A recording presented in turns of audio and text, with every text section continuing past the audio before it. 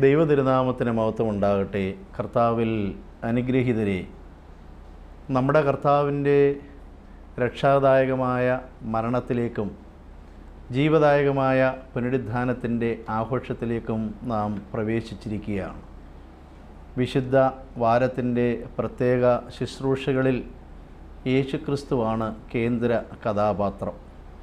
വിശുദ്ധ നോമ്പിലേക്ക് നാം പ്രവേശിച്ചപ്പോൾ തന്നെ നമ്മുടെ ആരാധനയിൽ അനുതാപത്തിന്റെയും ദൈവത്തിന്റെ സന്നദ്ധയിലുള്ള മുട്ടിപ്പായ പ്രാർത്ഥനയുടെയും ധ്വനിയും സ്വരവും ഭാവവും നോമ്പിലുടനീളം ശക്തമായിരുന്നു.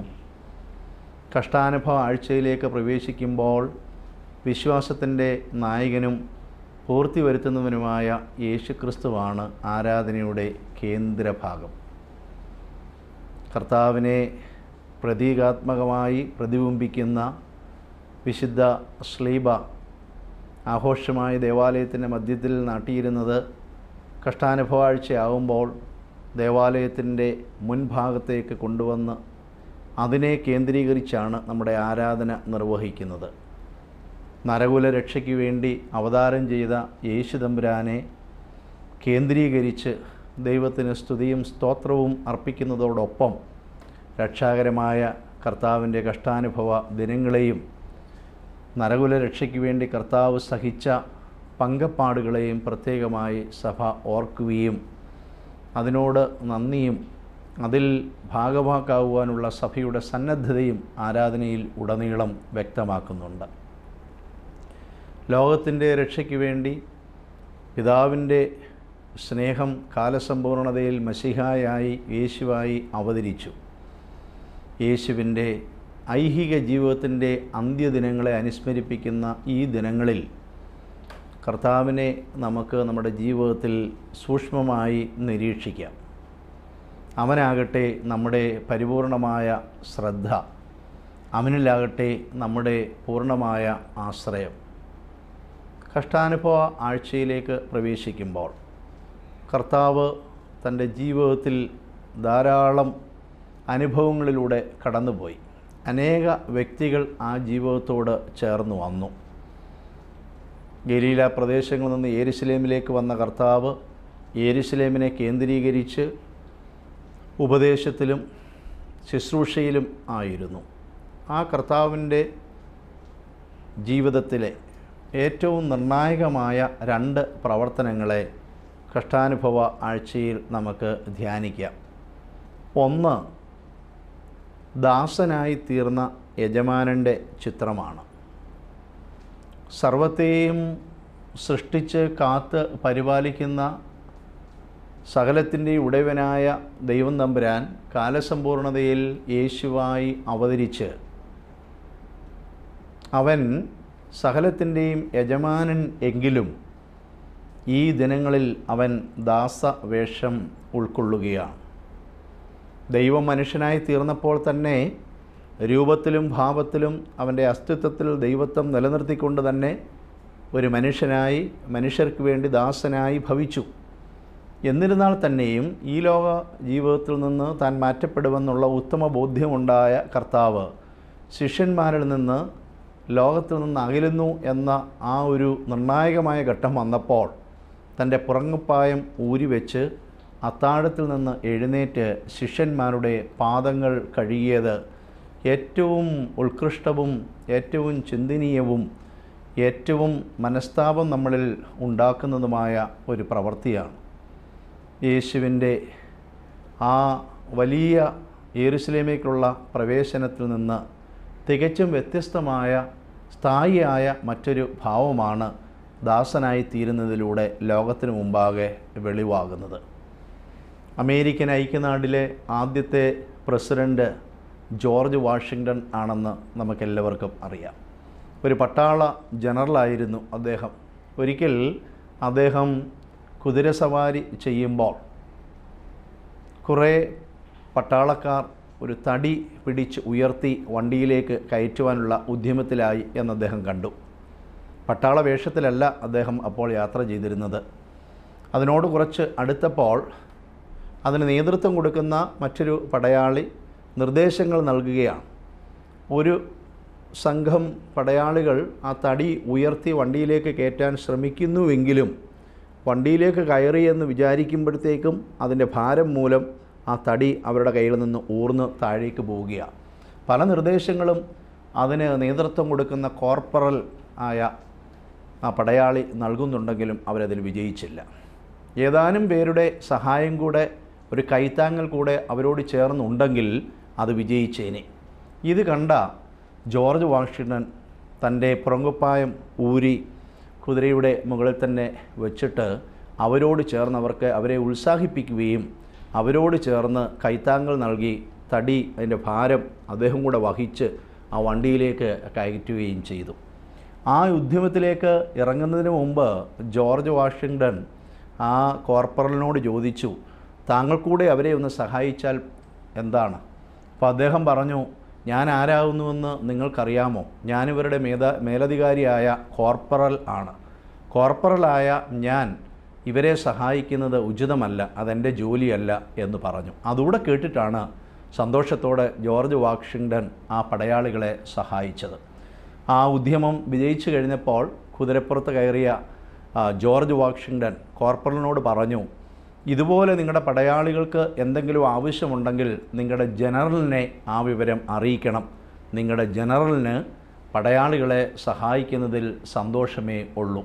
അദ്ദേഹം കുതിരസവാരി തുടർന്നു. അപ്പോൾ മാത്രമാണ് അവർക്ക് നേതൃത്വം കൊടുത്തുകൊണ്ടിരുന്ന പടയാളിയായ കോർപ്പറൽ മനസ്സിലാക്കിയത്. തങ്ങളെ സഹായിച്ചത് ആ രാജ്യത്തെ പട്ടാളത്തിന്റെ മേധാവി ആകുന്നു എന്ന്. വസ്ത്രം താൻ അതുവരെ ധരിക്കുന്നത് ഉരിഞ്ഞു വെച്ച് വേഷത്തിൽ ഒരു ദാസനായി ഭവിച്ച് ശിഷ്യന്മാരുടെ പാദങ്ങൾ കഴുകി അവരോട് ഏകീഭവിക്കുകയും ഈ ഭാവവും ഈ കർമ്മവും നിങ്ങൾ തുടരണമെന്ന് നിർദ്ദേശിക്കുകയും ചെയ്തു. ലോകത്തിന്റെ മനസ്സാക്ഷിയെ ഒന്ന് പിടിച്ചു കുലുക്കുന്ന നമ്മുടെ അഹം ഭാവത്തെ പിടിച്ചു കുലുക്കുന്ന ഏത് ഗർഭിഷ്ഠന്റെയും അഹങ്കാരത്തെ ഹുങ്കാരത്തെ ധിക്കാരത്തെ പിടിച്ച് ഉലയ്ക്കുന്ന ക്രിസ്തുവിന്റെ സ്ഥായിയായ ദാസ രൂപവും കർമ്മവുമാണ് ഇതിലൂടെ വെളിവാകുന്നത്. കഷ്ടാനുഭവാഴ്ചയിലൂടെ ക്രിസ്തുവിനെ നാം ഹൃദയത്തിലേക്ക് ആവഹിപ്പിച്ച് അവന്റെ ക്രൂശിനെ ധ്യാനിക്കുകയും ആ ജീവിതത്തോട് ഏകീഭവിക്കുവാൻ നമ്മെ തന്നെ ആരാധനയിൽ സമർപ്പിക്കുകയും ചെയ്യുമ്പോൾ ദാസനായി തീർന്ന ക്രിസ്തുവിനെ മറക്കാതിരിക്കേണ്ടത് ആവശ്യമാണ്. ഈ സ്ഥായിയായ ഭാവം നമ്മുടെ ജീവിതത്തിൽ കൃത്യമായി ഉണ്ടാകണം. അതുപോലെ തന്നെ രണ്ടാമത് ഒരു കാര്യവും കർത്താവിന്റെ ജീവിതത്തിന്റെ അന്ത്യനിമിഷങ്ങളിൽ നിർണായകമാണ്. യേശുദമ്പരാൻ അന്ത്യ അത്താഴമായ പെസഹായിൽ കുഞ്ഞാടിനെ നീക്കി താനാകുന്ന കുഞ്ഞാടിനെ പ്രതിഷ്ഠിച്ച് അപ്പവും വീഞ്ഞും ലോകത്തിന് പ്രദാനം ചെയ്ത് എന്റെ ശരീരമാകുന്നു ഇത് എന്ന് അപ്പമെടുത്ത് വാഴ്ത്തി നുറുക്കി ശിഷ്യന്മാർക്ക് നൽകി അവരോട് ആജ്ഞാപിക്കുകയും വീഞ്ഞ് വാഴ്ത്തി ഇതെന്റെ രക്തമാകുന്നു. പുതിയ നിയമത്തിലെ എന്റെ പുതിയ ഉടമ്പടി ഇതാകുന്നു. പാവരിഹാരത്തിന് വേണ്ടി ലോകത്തിന്റെ പാപത്തിന് വേണ്ടി നൽകുന്നതാണ്. പരിശുദ്ധനായ പൗലോസ്ലിക കൊരിന്തീർക്കെഴുതിയ ഒന്നാം ലേഖനം അഞ്ചാം അധ്യായത്തിൽ നമ്മെ ഓർമ്മിപ്പിക്കുന്നു. നമ്മുടെ പെസഹ കുഞ്ഞാടും അറക്കപ്പെട്ടിരിക്കുന്നു. ക്രിസ്തു തന്നെ. അനേക വ്യാപാരങ്ങളിലൂടെ മനുഷ്യരുടെ ശ്രദ്ധ ആകർഷിച്ച യേശു. തന്റെ ഉപദേശങ്ങളിലൂടെ അനേകായിരങ്ങളെ ആകർഷിച്ച യേശു.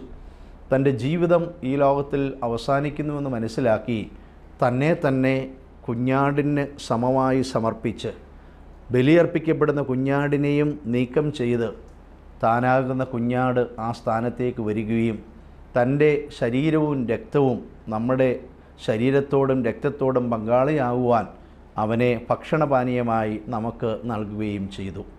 ദൈവം സ്നേഹമാകുന്നു എന്ന ആ യാഥാർത്ഥ്യത്തിന്റെ ഏറ്റവും ഇഴയെടുപ്പമുള്ള ബന്ധമാണ് ഇതിലൂടെ ലോകത്തിനു മുമ്പിൽ വെളിവാകുന്നത്.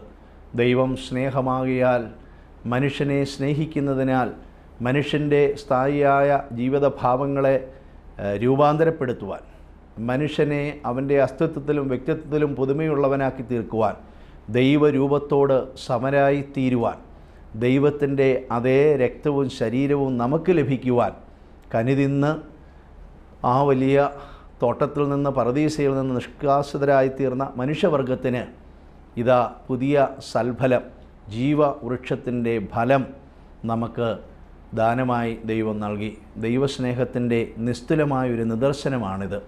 ഈ രണ്ട് കർമ്മങ്ങളും കഷ്ടാനുഭവ ആഴ്ചയിലൂടെ കടന്നു പോകുന്ന നമ്മെ വളരെയധികം ആകർഷിക്കേണ്ടതും നമ്മുടെ ശ്രദ്ധ അതിലേക്ക് പതിക്കേണ്ടതും അന്ത്യദിനങ്ങളിലെ കർത്താവിന്റെ ഈ കർമ്മങ്ങൾ നമ്മുടെ ജീവിതത്തെ സ്ഥായിയായി സാരമായി പിടിച്ച് ഉലയ്ക്കുകയും രൂപാന്തരപ്പെടുത്തുകയും ചെയ്യേണ്ടതും ആണ്. കഷ്ടാനുഭവ ആഴ്ചയിലെ അനേക സംഭവപൂലമായ കാര്യങ്ങൾ നമ്മൾ ധ്യാനിക്കുമ്പോൾ ഈ രണ്ട് കർമ്മങ്ങളും നമുക്ക് ഓർക്കാം.